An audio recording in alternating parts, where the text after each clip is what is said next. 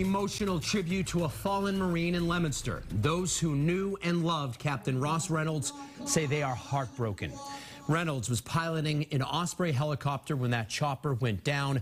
Tonight, his wife spoke from the heart to his hometown. Good evening to you. I'm David Wade. And I'm Lisa Hughes. Reynolds was among the four Marines who died. WBZ's Brandon Truitt spoke with people who knew him tonight and is in Leominster with more.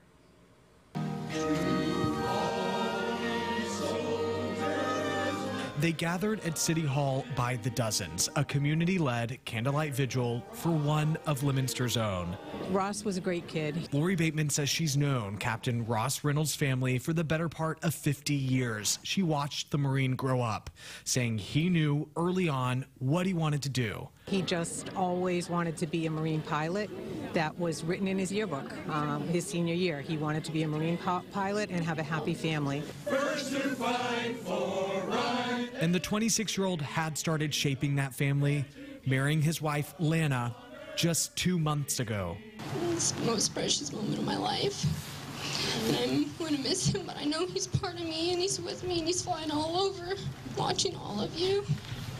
And he was doing what he loved flying. Lana says the couple was living in Atlanta, but Captain Reynolds never forgot home, and this community didn't forget him. An American flag was presented to the family. It flew over the U.S. Capitol on the day he died.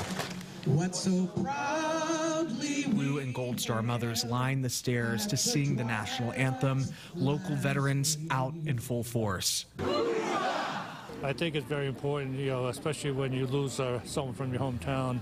A heartbroken community mourning the man they've lost and his widow sharing in their grief. But I want to let you all know how proud I am and you all should be. He truly is incredible. He's, he's not resting in peace, he's flying in peace.